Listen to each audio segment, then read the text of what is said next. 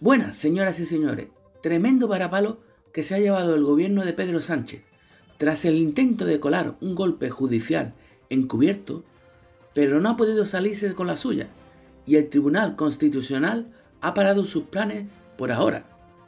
Pero Pedro Sánchez ha utilizado toda su artillería, desde la presidenta del Congreso, Shea Batet, pasando por el presidente del Senado, Ander Hill, y desde la Moncloa, Félix Bolaño, lo que nunca se había visto en democracia.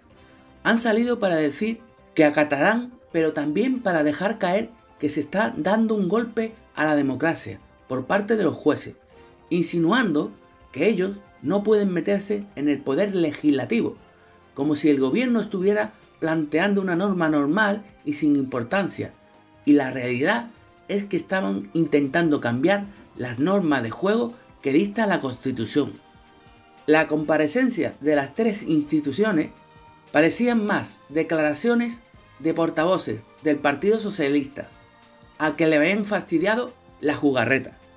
Pero ahora la presidenta del Congreso se hacía la digna y que iba a defender la autonomía del Congreso y que no existía precedente en la democracia española de que el Poder Judicial se metiera en el desarrollo de las obligaciones del legislativo.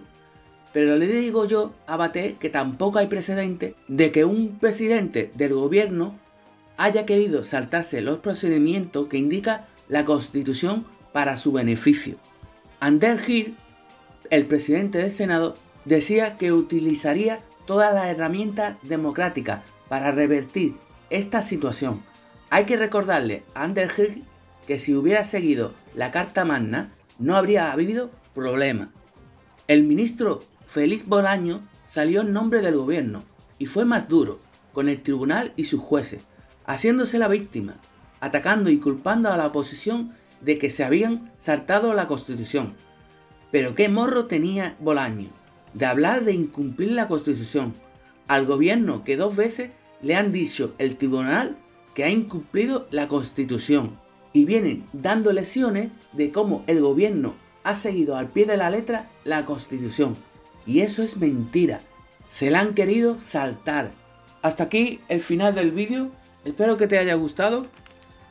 Escribe un comentario si quieres, siempre desde el respeto, dar un buen like y suscribiros. Muchas gracias por el apoyo a los vídeos y al canal. Y bueno, hasta la próxima noticia, amigos.